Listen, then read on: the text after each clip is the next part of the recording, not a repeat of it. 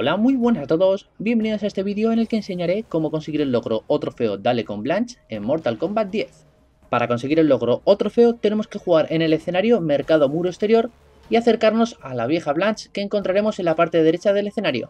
Cuando estemos cerca de ella pulsaremos R1 o RB dependiendo de la consola en la que jugamos para lanzarla a nuestro oponente. Si le llegamos a golpear conseguiremos el logro O trofeo.